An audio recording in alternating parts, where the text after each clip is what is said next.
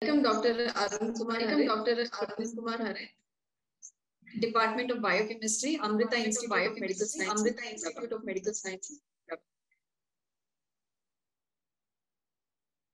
Welcome, sir. Request to kindly share your. I extend the warm blessings of Amma and greetings from Amrita Institute of Medical Sciences, Faridabad. Uh, it's pretty a humbling experience to be associated with such elite panel and asked to discuss upon a topic of method verification. The question on method verification and method validation had come up some time before. Method validation is a detailed document and an extensive work on a test. It's a complete data of the R&D that has been done before a manufacturer can bring the test to the market. And these documents are thoroughly scrutinized by the accrediting agencies, involves a lot of work. I had the fortune or misfortune of having had to do a method validation for an HPLC test, which I started off in my lab. Six months of hell. Fortunately, method verification is not, not so tough. All that we are going to do here is we are expected to verify whether the tall claims made by the manufacturers on the performance of the test is true or not. When a manufacturer brings a kit to the market, he's got a lot of details about it, including what are the linearity of the test, what is the sensitivity and specificity of the test, and what is the interferences that have happened on the test, and what is the biological reference intervals and all that stuff. We are just going to verify whether all those claims are true in our context. Now, we have to be very clear in our mind as to why are we doing a method verification. And whether people accept it or not, most of the driving forces, it is mandated by the NABL. So if I have to start a new test, I have to do a method verification. And if you're doing that, we are working with a fear complex.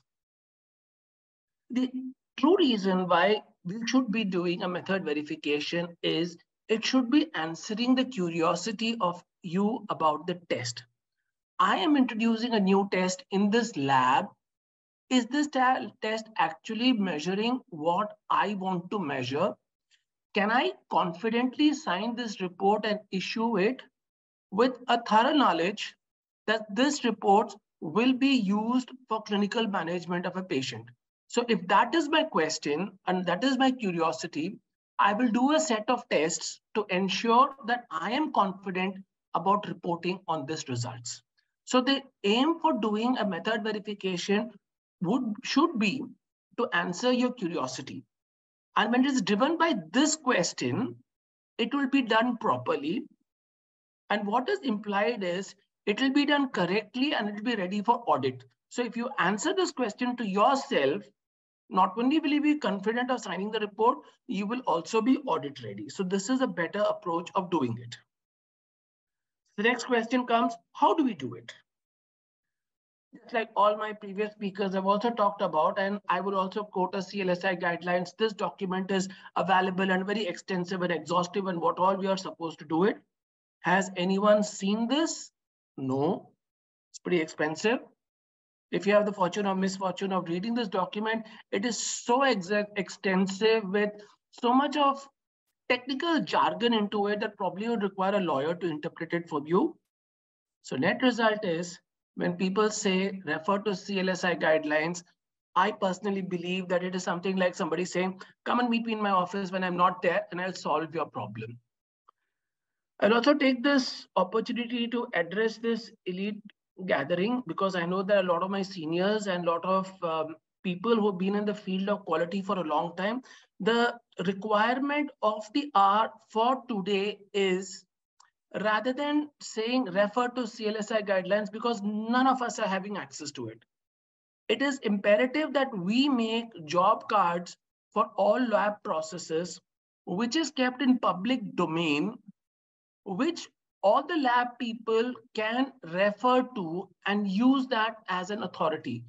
So if I have a clear text that says a process should be done like A, B, C, D, and it is in public domain, everyone will do it and do it properly. So it needs to come into the public domain. Maybe it could be an Indianized standard. That is the requirement of the R and we all should work onto it. This is a small request from my side. I also got across this line from Dr. Harivansh Rai Bachchan on his favorite poetry Madhushala. alag pat पत sab, par main ye बतलाता हूँ राह पकड़ तू एक चला चल पा जाएगा Madhushala so if you're very clear as to how you're going to end up and you're very confident about it work on it hard and you will reach your destination this is the era of chat gpt and before making this presentation i just tried to test myself and say okay chat gpt tell me what are the steps of method verification in a clinical laboratory and this is the document which i've got it clearly defines what are all the steps to be done define the performance characteristics of the method select an appropriate reference material establish acceptance criteria perform the method verification grill upon it it'll tell you how to do it properly analyze the results, document the results, and monitor the methods. So all these are available in ChatGPT. The most important question in this is establishment of acceptance criteria. So then I got a bit more lucky and I asked ChatGPT really, what is the acceptance criteria for, what is the CV percentage for ALT? And this is what I got with certain references. But if you are a purist and you want to do it the real hard way, you have the Westgard site. You can go to the CLIA and quality, uh, quality tab and choose CLIA requirements for analytical quality. And you'll get a table with all the percentages specified. What to be more stringent? Go to the biological uh, validation database. This is also in the Westgard site. And it throws you a whole lot of numbers and good luck if you understand what these numbers mean or how to use them. What people generally rely is, I have to start a new test, get the test, do the validation processes or the verification processes, get the data, and then redefine your acceptance criteria. That is Mexican target. And that is definitely something that I do not recommend when you're going to do a method verification, the first thing is start with an SOP. You should be very clear as to when I go for a method verification, what all am I going to do? We have to be clear as to what steps need to be done, who needs to do it, and what is the acceptance criteria. You should ask the technician handling the test, are you clear of what you're doing? We have to be very clear and specific in our instructions that after you've done the test, give me the hard copies because the hard copies are going to be documented. Whatever result you get is correct. Don't adjust results to suit your requirement. Have faith that your system is good. If it fails, as I said, it is important to define your acceptance criteria way before and then start doing the test. Don't do it the other way around or do the test and redefine the CV criteria. Now, how do you get the CV percentage for acceptance? As we said, the CLSI guidelines, BV, chat GPT, but a more practical approach, although this may not be written theoretically and I can be challenged about it, but personally, I feel that this works. Ask your neighbor labs, which are running the same test on the same platform, ask you what is the CV percentage that they are getting. You should be able to get that or better than that. Okay. And I need us to mention that that ought to be an NABL lab. You're not going to ask any XYZ lab. You pick a quality lab which is running the test in the platform which you intend to run the test, see what their CV percentage is, either get that or get something better than that. the question that comes is, if you don't have a peer, then what are you going to do? And the next question comes, if you don't have a peer, you really need to introduce that test. Unless it's got to be some of those unique tests and you're a unique lab, in which case you fall back to the CLSI and the BV. What are all the checks that we need to do? We need to do studies to check the precision, the accuracy, the linearity or the AMR, the biological reference intervals, carryover studies, test stability, and there are special situations like HS troponin, which I will cover. How do we go about doing it? We can use both controls and patient sample. There are certain things where we have to use the patient sample, like when you're taking the accuracy of a result, when you're checking the biological reference intervals, when you're doing a storage sample testing and all, you can use a patient sample. But when you're doing precision studies, like you're doing an intra-run precision or an inter-run precision, can use you should use the control methods. Control levels can use two or three control levels, preferably use controls at decision points preferably use controls which test the system's efficacy. So the first test we do is establishing an intra-run precision study. Uh, the debate on how many runs, and uh, we've had a lot of values. And the common answers that everybody says is specify it in your documents, in your SOPs.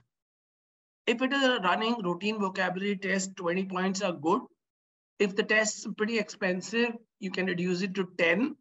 If the tests are very rare, possibly five also, whatever it is. This is a trade-off that you will do because the point we are making over here is, is this being driven by showing documents to an auditor or is this being done to satisfy your curiosity?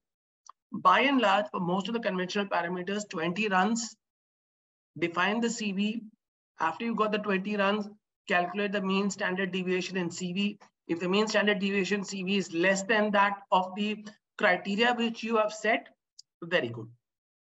Raw data is a must because when you are going to present your documents to an auditor, if at all, you need to know that those tests were done and you have proper documentary tails printouts from the analyzers saying that these tests were run on this date around the same time, which is very important. The audit trail that the timing of all the tests, it is just intra run. So all the tests should have been done in the same run. So the timings of the results should also be close to each other. Those are the points which would be looked for. Produce that, see it. Inter-run tests the stability of the test over a period of time. So if you use two controls or three controls, run them in replicates of 5, 5 in batches, eight hours apart. So usually about two to three days time it is done. Use five such runs and calculate the CV of the entire data. This is the CV of the entire data over a period of two to three days over multiple runs, right? So that data will show how robust the sample is it's preferable to use a control here because the controls have come with some inbuilt stability. Calculate the CV over the entire duration of time, and this should be better than the CV that we have said would be the acceptance criteria. As long as we are below that CV percentage, we're doing good. If you're going above, there is a reason to be worried about. Important again, as I said, the raw data should be kept and the raw data should clearly specify that these samples were run in batches and there was a significant time difference between the running of the batches. What is that significant difference?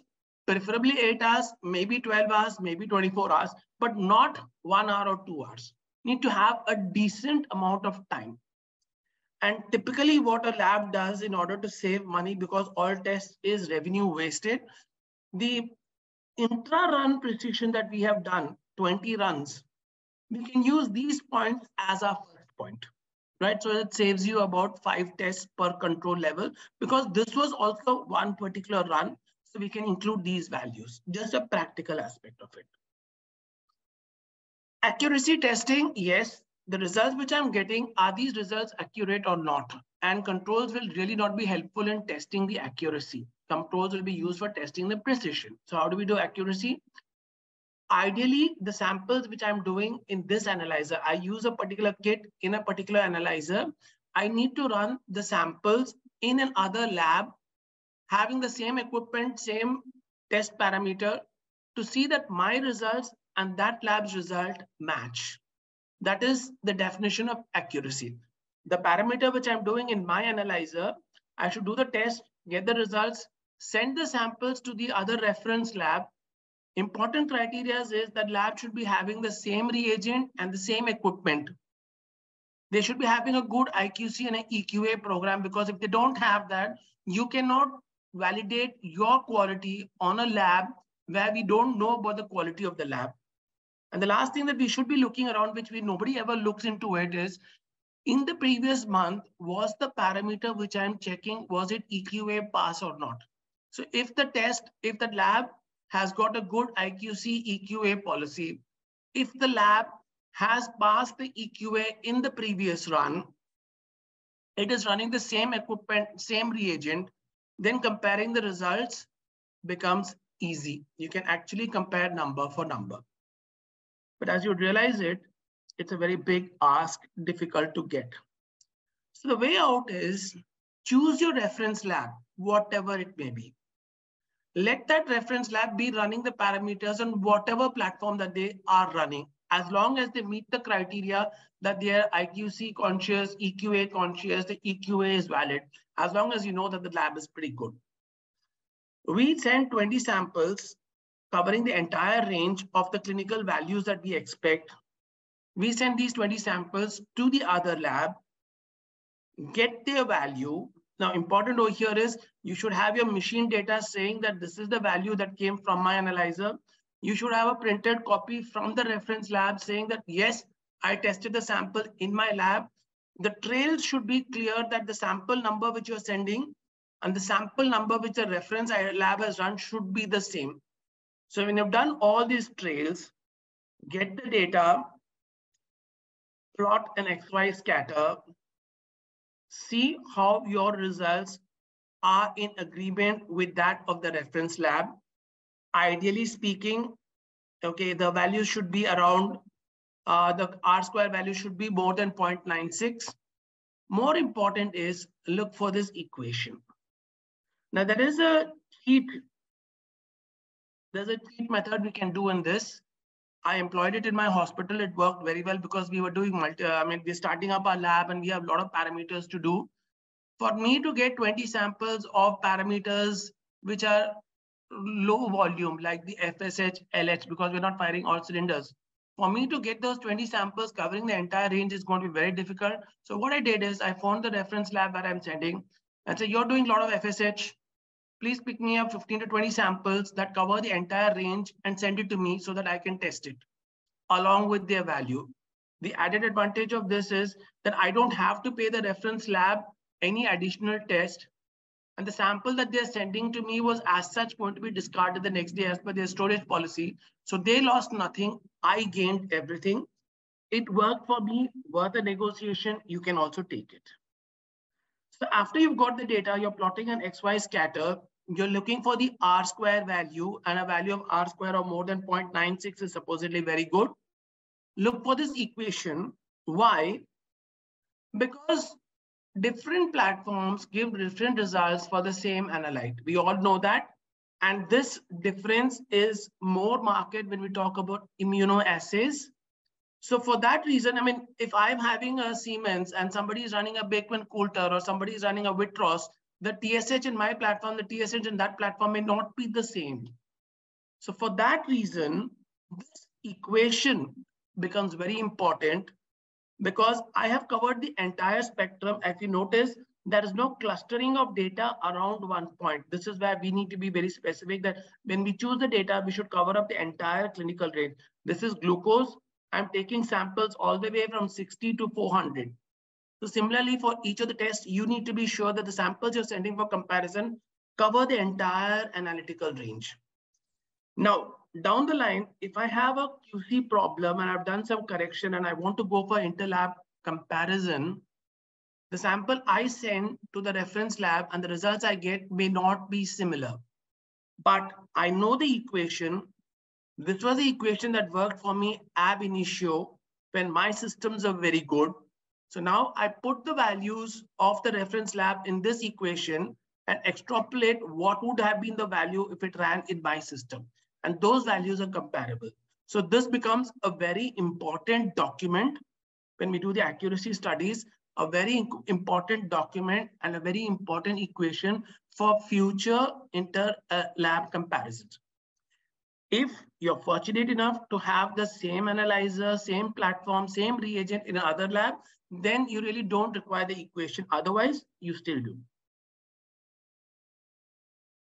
Now, analytical measurement range or linearity, that is, uh, this test is important for us to know what the vendor is claiming. Is it really linear to that extent or not? Okay, that is the easy way, which is, that is the correct way, which is the hard way. And then there's the easy way, uh, which is a simple way. Now, what's the correct way? They're again talking about glucose. In glucose, we know that the range of the test is going to be 60 to 400 or 500 milligram sample. So check your runs. You've got some values in the 400s, you've got some values in the six, uh, 60s. Take these two samples. The 400 designated as H, the 600 designated as L. So we've got two points. We need three more points in between. So then use this equation. Take four parts of H, that is 400 milligram per deciliter. Take three parts of H and one part of L and mix it up. The designated value of this will be 350 milligrams per deciliter. Take two parts of H and two parts of L and mix it up. The designated value becomes 230. Take one part of H and three parts of L. Mix it up. The designated value becomes 145 milligram per deciliter. The equations have been given here. And four parts of L that we started off with, 60 milligram per deciliter. Now we've produced five points starting from 400 to 60 milligram per deciliter. This is the expected value that we should be getting. We run the test in our system and we see what is the observed value. And again, plot the scatter graph. Again, this value of 0.96 is very good. And if you see this data like this, which is senior, we have said that in this entire range that I expect in my clinical performance, this system is very good and the expected and the observed values are correct. So this is the right way to do it. The problem with the current method is if I'm doing a validation verification for one test, it's easy for me to do this. But ab initio, like when I started off my lab, and there's this pressure that we have to start biochemistry on SARA test ka verification karlo. So I have the entire chemistry of about 40 parameters. And for all of them, if I have to pick up samples and do this, it is a killing task. So what we do in that is take the controls, you have the high control, you have the low control, mix it up in the same proportion, you get all the five points. Now, since this is a control element, uh, all the test parameters are there. You can designate the values for each of the intermediate points the way we discussed it. Run all the tests. So in one single test, you can validate all your chemistry processes. Uh, Arun sir, sorry to interrupt you. We have Yeah. two minutes left to wind up the session. Thank you. Okay, fine. So this is one easy way of doing it, right? The problem with this method is that it really does not, it would not be testing all the parameters to the great extent. So there is a limitation to this. Biological reference interval measurement, very important, especially when we talk about immunoassays, because remember that the kits we are using are imported, manufactured, and standardized for a different population. And we are going to extrapolate the data in our situation. So we need to do it. 20 males, 20 females. If you have age specific values, go through that. But the problem that we have over here is most of us always resort to some easy methods and we go to the master health checkup plan and we'd say that these are my normal patients. That's exactly what we do because these are build tests. So you have your values also in it and it's economical. But when you get outliers, how sure are we that the patients in the master health checkup are actually normal people? They could be diseased people who are just using the master health checkup because it becomes more economical. Point to ponder. Now, when you get an outlier while establishing your biological reference range, what we normally do is replace the red card with another black card and say that we are verified the uh, biological reference interval. That is something is a question onto your integrity. That's for you to take the call onto it. So your final package, when you do a method verification, should have an SOP, a clear definition of what you were trying to do, clear identification of who is going to do, the guts to see the raw data and accept whatever raw data you get, test your interact uh, precision, accuracy, linearity, biological reference range. HS troponin, the criteria is clear that for calling a test as an HS troponin at the 99th percentile of the normal population, we should be having, we should be able to demonstrate a CV of 10%. So pick up the 99th percentile, either you use the manufacturer's claim or you run 100 tests, not possible. But do it 10 times, do it 20 times or 10 times, and at least demonstrate that the CV is 10%. Plain simple mathematics, when you work about the number of tests which will be involved in a method verification comes to about 100 to 120. Okay, so there you have the intelligence to use that if the test is a routine test and an economical test, use 2020 repeats. If the test is expensive, think in terms of 10. If the volume of the test is low, think in terms of five. There is a bit of vagary into it, but as long as you define it and what you're going to do it and follow it, things are okay. Because you're doing verification for yourself and not a fear for an auditor. You're doing this verification process to satisfy your conscience that when you sign this report and when this report translates to a patient management, you're confident that you have done the right thing. Thank you.